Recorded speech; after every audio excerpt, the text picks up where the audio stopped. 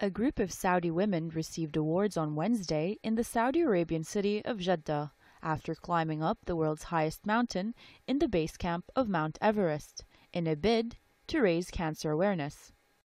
The age of women climbers ranged between 25 and 50 years. The 11 climbers began their expedition on May 7, completing their trek in 12 days. The ascent to base camp, which is located 5,364 meters above sea level, took nine days. Then they walked down in three days. Saudi Princess Reema bin Bandar bin Sultan Al Saud led the team in the cancer awareness campaign, which has been entitled A Woman's Journey Destination Mount Everest. Zahra Breast Cancer Association sponsored the climb along with other organizations. The women's campaign hopes to inspire other Saudi women in leading a healthier lifestyle and educate the public about the causes and effects of breast cancer, as well as the importance of early detection.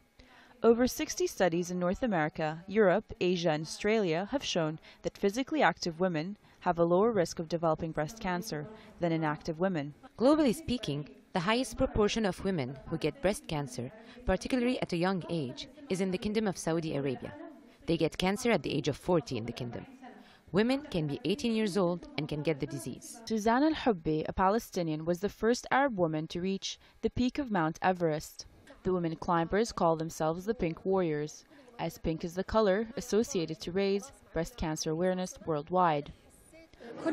Each one of the climbers has a sister or friend or is a relative of either a survivor of breast cancer or a person still being treated for cancer.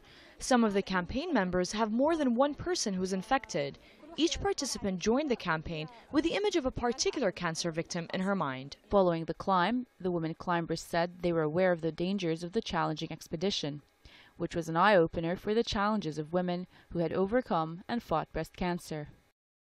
The women prepared for the expedition to Mount Everest Base Camp by climbing heights in Jeddah, Mecca, and other parts of Saudi Arabia. Nadia Mine, Al Arabiya